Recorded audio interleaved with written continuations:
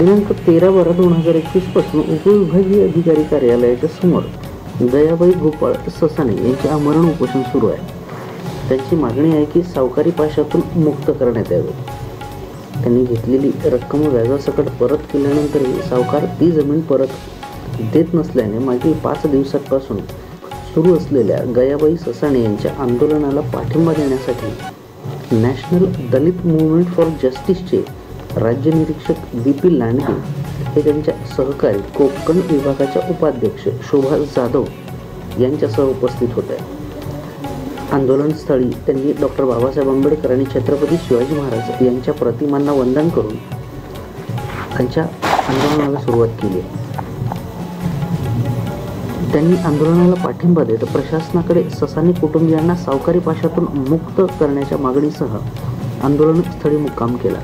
दरम्यान पोलीस प्रशासन उपविभागीय अधिकारी तहसीलदार दुय्यम निबंधक व सहाय्यक दुय्यम निबंधक सहकारी संस्था यांच्याशी पत्रव्यवहार करून बोलावलेल्या पत्रकार परिषदेत ते बोलत होते.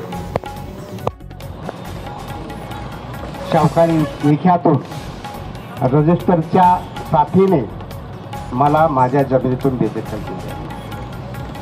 सदरचा शावकार त्याच गावात राहत असून त्या शावकाराला पीडिताची जात माहीत आणि पीडिताला सुद्धा अशोकमध्ये यांची जात माहीत आणि जात माहीत असताना सुद्धा एक दलित महार या जातीची जमीन परस्पर हस्तांतर करणं आणि त्यांना जमिनीतून बेदखल करणं याशिवाय न्याय मागण्यासाठी जे ज्यावेळेस सचिव कार्यालयाच्या समोर बसले असताना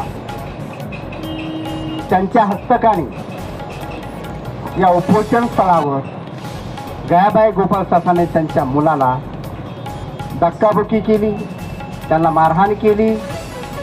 एवढंच नाही ते आंदोलन तोडण्याचा प्रयत्नमध्ये अशोक अमोलमध्ये आणि त्यांच्या हस्तकाने केलेली आहे. त्याचबरोबर ज्या प्रकारे या शेतीची त्यांनी चालाकीने रजिस्टरला हाताशी धरून वेगवेगळ्या प्रकारच्या माध्यमातून राजकीय बळाचा वापर करून दंडेलीशाहीचा वापर करून या दलित समाजाच्या पीडित महिलेची ऐंशी वर्षाच्या दलित विधवा महिलेची जमीन बेकायदेशीर हस्तांतर करून घेतलेली आहे. त्याचबरोबर ज्या अडचणीसाठी या कुटुंबाने सावकाराकडून एक लाख रुपये घेतले पैकी पंचवीस हजार रुपये त्याने व्याज म्हणून जाग्यावर कापून घेतलं होतं.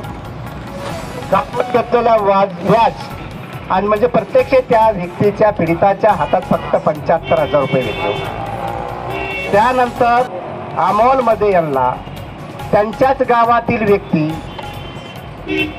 बाळू मुसले या व्यक्तीच्या हाताने पन्नास हजार रुपये त्याला दिलेले आहेत. त्यांच्या हस्ते समक्ष मध्यस्थी म्हणून एवढंच नाही तर मयत व्यक्ती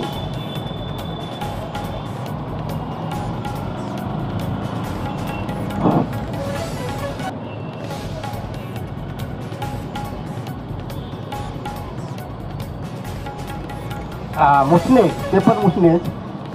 मयत आहेत ते त्याचं नाव काय? व्यंकटे मुसने नावाच्या व्यक्तीनं सुद्धा मध्यस्थी राहून त्यांना पन्नास हजार रुपये दिले. परंतु आज तो पुरावा नष्ट झालेला आहे तो मेलेला आहे मयत पावलेला आहे. म्हणून ज्यावेळेस त्याने एक लाख रुपयाचं व्याज म्हणजे कर्ज घेत असताना पंचवीस हजार रुपये काढून घेतले आणि पंच्याहत्तर हजार रुपये प्रत्यक्ष दिले ते पंचवीस आणि हे एक लाखाचं एकूण सव्वा लाख रुपये घेऊनही त्यांनी जमीन हस्तांतर करून घेतली. ज्यावेळेस व्याजाचे पैसे व्याजासकट मुद्दल देऊन ज्यावेळेस सांगितले की आमचे जे काय पेपर ते बनवून घेतलेले आहेत ते पेपर आम्हाला दे. तुम्ही माझ्या घरचे लोक आहेत. तुम्ही विश्वासाचे आहेत. तुमचे माझे खूप चांगले संबंध आहेत. असं म्हणता म्हणता एक सात आठ वर्षे त्यांना घोळत गेला. ते अज्ञान अशिक्षित आणि शेती मोलमजुरी करून खाणारे लोक दोन एकरमध्ये कुटुंबाची उपजीविका भागवत होते. इतर ठिकाणी मजुरी करत होते. अशा असुरक्षित कुटुंबाचा विश्वासाने गळा घोटून त्या अमोलमध्ये या नावाने अमोलमध्ये या व्यक्तीने या शावकाराने रजेक्टरच्या मदतीने जमीन हस्त हस्तांतर करून घेतली. पत्रकार परिषदेत आणि आज या ठिकाणी आम्ही नॅशनल दलित मुवमेंट फॉर जस्टिसच्या संघटनेच्या. राज्याचा निरीक्षक या नात्यानं. या आंदोलनामध्ये सहभागी आहे. आणि या आंदोलनाच्या माध्यमातून माझी एक मागणी आहे. National Dalit movement for justice आणि या पीडितांच्या कुटुंबाच्या वतीनं माझी अशी मागणी आहे शावखारी विळख्यातून पीडित कुटुंबाला मुक्त करावं. शावकारी विळख्यातून पीडित कुटुंबाला या दलित कुटुंबाला या विळख्यातून दूर करावं मुक्त करावं. बे बेकायदेशीररित्या जमीन हस्तांतर करणाऱ्या श्री आंबोडमध्ये यांच्यावर अठराशे ॲक्ट अंतर्गत गुन्हे दाखल करावे. त्याशिवाय उपोषणस्थळी तरी उपोषण स्थळावर जी पीडित महिला त्यांचे मुलं त्यांचे कुटुंब यांच्याशी दाब दडप द- त्यांना धमकी जीवे ठार मारण्याची धमकी इत्यादीचा प्रकारचं आंदोलन तोडण्याचा प्रयत्न केला. त्या प्रकरणावर या ठिकाणच्या पोलिसांच्याकडे तक्रार दाखल करायला गेल्या असता त्या पीडिताचं समाधान म्हणून कारण अशिक्षित आहे त्यांना माहीत आहे त्या पोलिसांनी पाचशे चार आणि पाचशे सहाचं आणि चौतीस प्रमाणे गुन्हा दाखल केलेला आहे. म्हणजे एन सी दाखल केलेली आहे. माझी मागणी अशी आहे ज्यांनी या ठिकाणी दाबदडप केली जिवे ठार मारण्याची धमकी दिली आणि उपोषण स्थळावर येऊन लोकशाहीचा गळा दाबलेला आहे त्याच्यावर अमोलमध्ये यांच्यावर गुन्हा दाखल करा. पण त्यांच्या हस्तकाव सुद्धा अठराशे ऍक्ट प्रमाणे गुन्हा दाखल झाला पाहिजे. बेकायदेशीरपणे शावकाराशी ज्या दुय्यम निबंधकांनी संगनमत केलेलं होतं.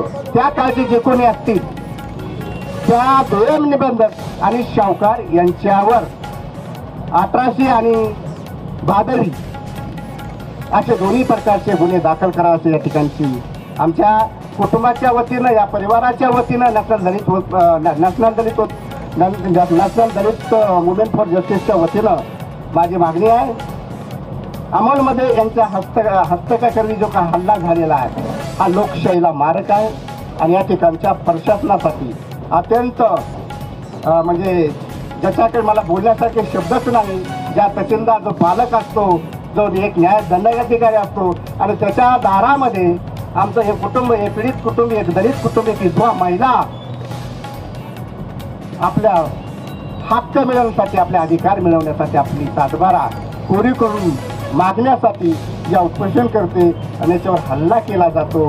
आणि असा हल्ला झाल्यानंतरही या कुटुंबाला कुठल्याही प्रकारचं या ठिकाणच्या प्रशासनानं या ठिकाणच्या पोलिसानं या ठिकाणच्या तहसीलदारनं या ठिकाणच्या उपजिल्हाधिकाऱ्यानं व अन्य प्रकारच्या ज्या शासनाच्या शाखा आहेत या शाखेने कुठल्याही प्रकारचं संरक्षण दिलेलं दिलेलं नाही.